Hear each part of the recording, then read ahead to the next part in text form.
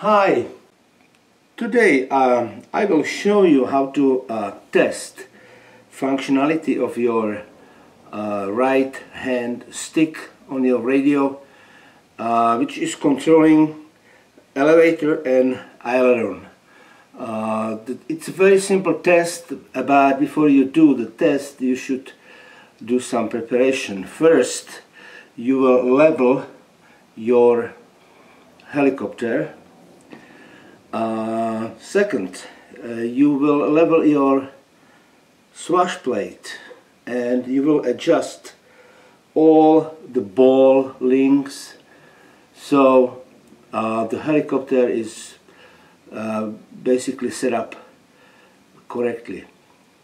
Also make sure that the main rotor is spinning freely uh, I took for this purpose I took off the main motor since I have to replace it anyway so I did it.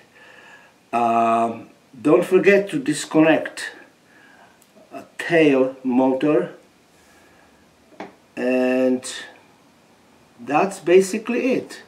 Next step is to establish connection between your receiver and your helicopter Okay, let's do it.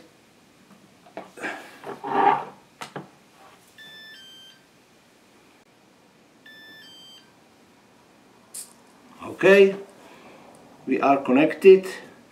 For the test, move the uh, left stick to the high position.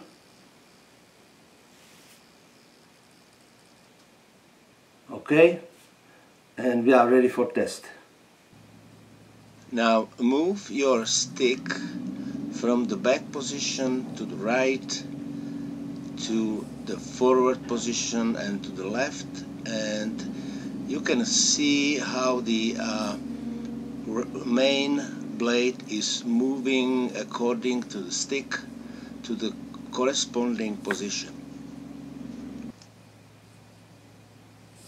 One more time, a main blade is following the movement of the stick to the corresponding position.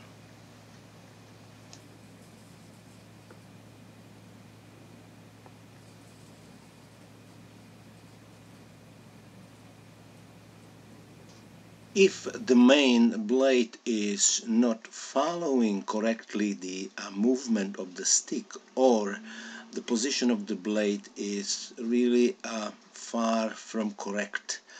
Uh, you can always make some adjustments. You can apply a correct amount of trim.